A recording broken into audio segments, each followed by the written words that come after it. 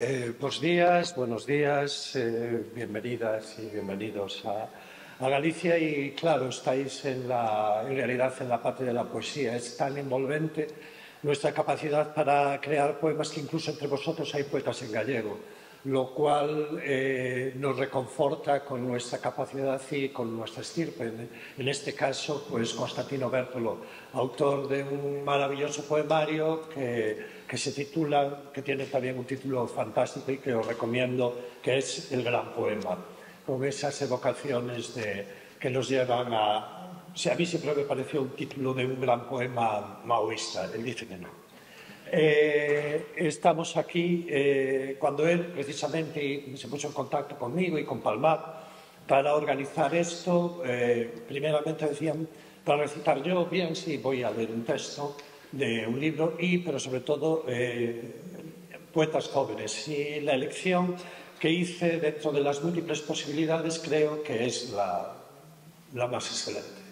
Estamos, eh, es un abanico de, de poetas, mujeres y, y, hombres, que nos eh, llevan ya unos años trabajando, pero que con sus obras eh, recorren un, un abanico de, de, de obras y de propuestas lo suficientemente evocador para que veáis, para que comprobéis lo que eh, en estos momentos eh, están escribiendo los, las mujeres y los hombres que tienen alrededor de 30 años.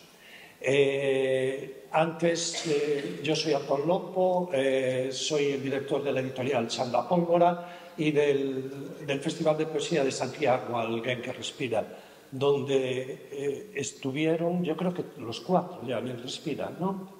non sei Alba, tú? No, Alba, pois te tocará este Alba.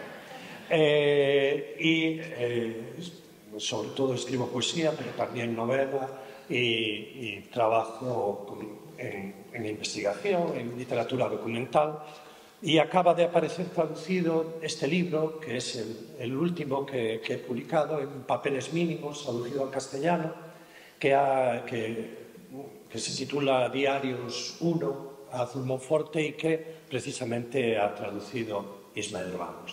De este libro, que, os voy, que se divide en, en poemas, es un libro sobre la terminalidad, la terminalidad del, de física, la terminalidad familiar, la terminalidad de la madre, pero también la terminalidad del amor, como un, un, una secuencia, un ámbito, un espacio donde en realidad es eh, propiamente la vida, aunque a veces no lo, no lo concibamos como vida, ese, ese momento, con sus características propias y con su continuidad.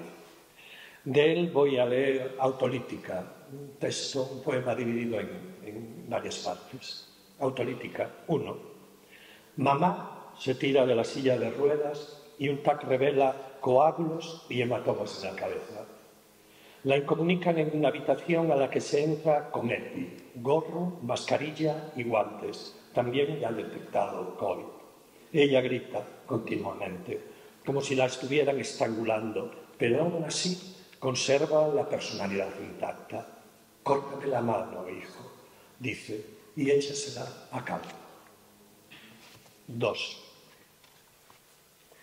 Miramos juntos por la gran ventana hermética del hospital, pero ella solo ve la luz, los nimbos, y le describo lo que no ve, los tejados de pizarra y las grúas de la ciudad, la lavandera blanca picoteando en la hierba, el módulo reservado a los presidiarios y el mirlo en un liquidámbar.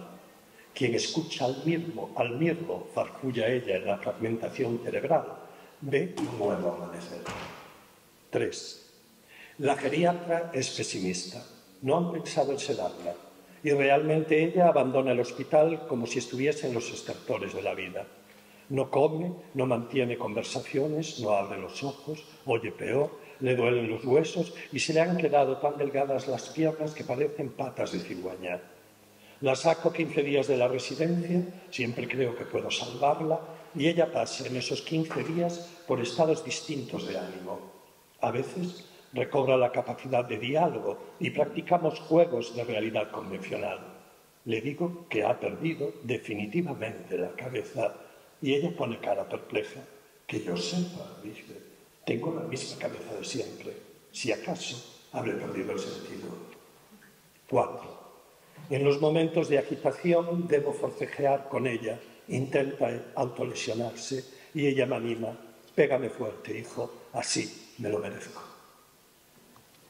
el doctor Ismael Ramos, eh, con el que me une una amistad, pero sobre todo una admiración, es uno de los poetas jóvenes que han tenido más repercusión en la sociedad actual, sobre todo entre los que vienen detrás. Nació en La Picota, que es un pueblo de Mazaricos, pero se crió en, pasó casi toda su vida en Noya, que es una localidad cercana aquí, al borde del mar, y desde luego el, el Atlántico, el océano, ha marcado eh, de alguna manera la respiración de sus poemas.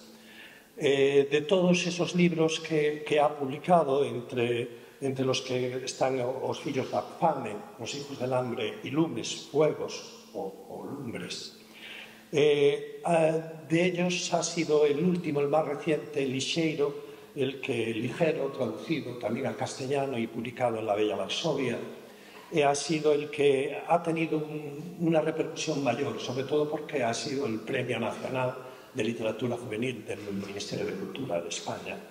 Y eh, a, la a la arrebatadora personalidad, como podréis comprobar cuando recite de Ismael Ramos se une una agudeza intelectual que me sorprende a mí continuamente y que eh, caracteriza a un poeta eh, que indaga en la escritura con el entusiasmo de quien descubre los secretos